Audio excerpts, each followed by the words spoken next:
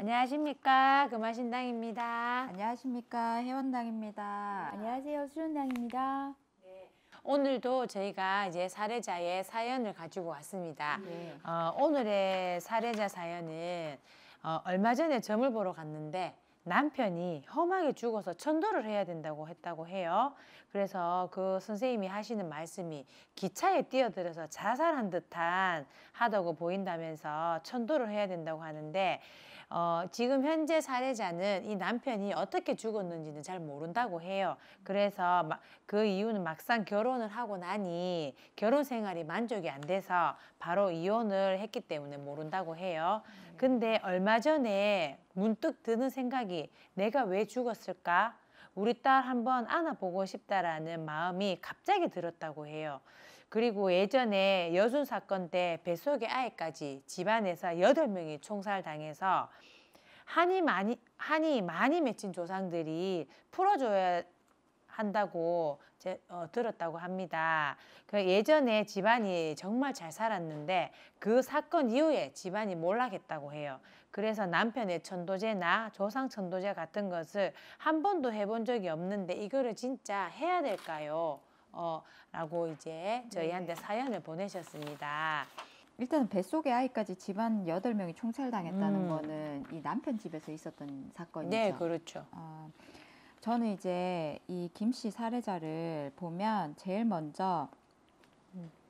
이 집에 상문이 2, 3년 안에 났던 걸로 저는 이제 느껴지거든요. 네네. 그래서 제일 먼저 상문의 주당이 제일 많이 걸린다. 그래서 네. 상문 주당 살이다. 음. 그래서 지금 이 장남자손이 17살이거든요. 네. 그래서 4월 27일생인데 이 장남자손한테 이 상문 주당의 살이 엄청 많이 들어오면서 음. 어, 급살처럼 갈 일이 음. 생길 수도 있겠다. 저는 그렇게 보여지고요. 음. 그리고 신랑 같은 경우도 제가 봤을 때는 어, 기차에서 음. 뛰어내려 자살을 한 것 같아 보이지는 않고요. 네. 어, 제가 보기에는 어, 신랑 마찬가지로 주당 맞아서 간 것 같습니다. 음. 어디 음. 어, 갔다가 상가집을 갔다든지 음. 아니면 상문이 났다든지 거기에 이제 가면서 음. 어, 노중 객사처럼 음. 약간 그런 모습으로 보이고요. 주당을 맞아서 갔다 이렇게 음. 느껴집니다.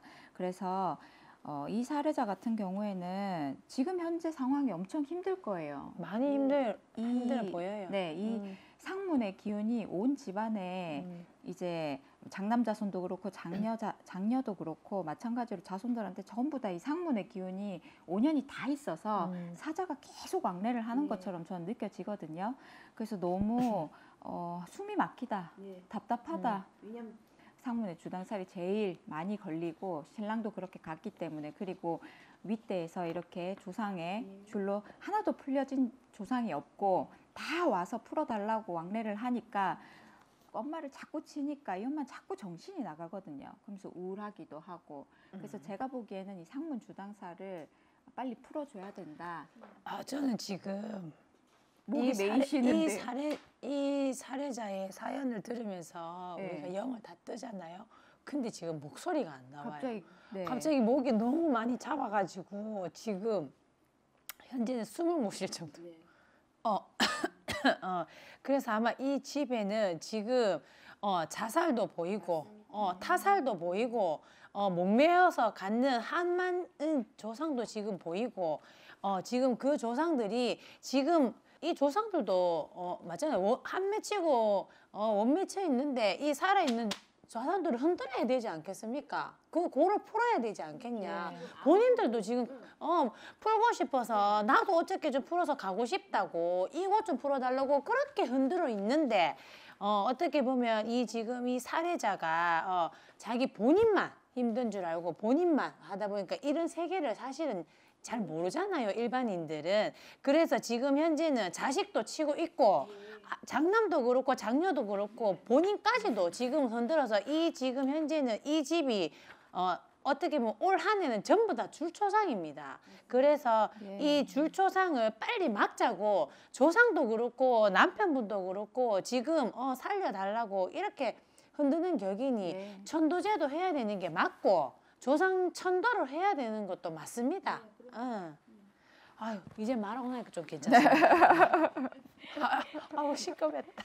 저 같은 경우도 조상이 맨 먼저 앞에 서거든요. 근데 뭐 지금 바로 몸으로 뭐 표준 그만이 받으셔가지고 제가 어 여기 보면은 뭐 할아버지 자에서 또 뭐 할아버지 청춘이 뭐 다 여덟 명이나 되다 보니까는 할아버지 형제자 쪽에서 제일 먼저 들어오거든요. 근데 여기 총살이라고는 하지만 총살을 또 그냥 또 당한 것 같지는 않아요. 총살이 마지막에 총살이긴 하지만 여러 가지 또 뭐 고문 아닌 고문 땅 속에도 예, 묻히고 피 매- 어, 맞아요. 다 들어오다 어. 보니까는 이게 저희가 이제 그냥 전문적인 용어로 쓰면 영산에 걸려 있다 그런 것들 때문에 저 금화신당 쪽에 지금 목을 잡고 하는 격이고 그리고 자살도 보이고 이 남편 같은 경우는 객사로 보입니다. 저 같은 경우도 노중 객사처럼 보이거든요.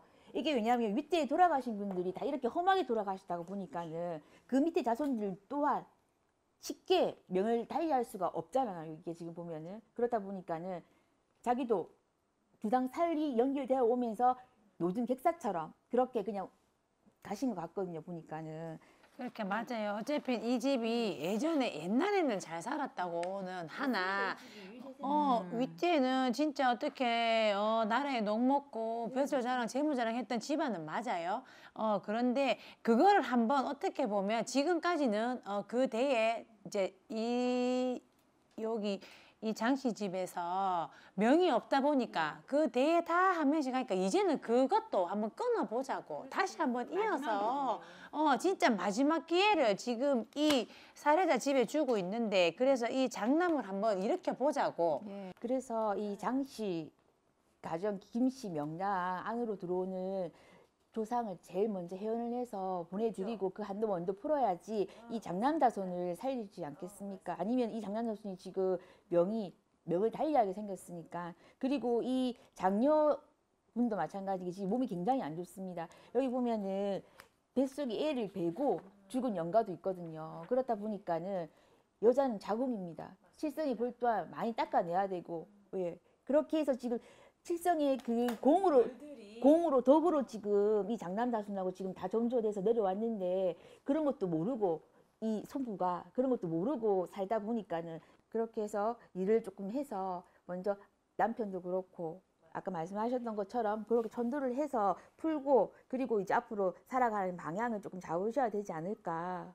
저희가 이 오늘의 사례자는 우리가 이제 처방을 내리자 하면 어, 맨 처음에 들어오는 주당살, 줄초상, 동티살, 급살, 어, 조상광내 하는 거 이래, 이렇게 여러 가지가 종합적으로 있기는 하나. 어, 그 중에서는 제일 먼저 들어오는 급살, 주당살을 빨리 최대한 시간 안에 풀어줘야 어, 그 다음이 하나씩 하나씩 해결이 될 수 있을 거라고 보입니다.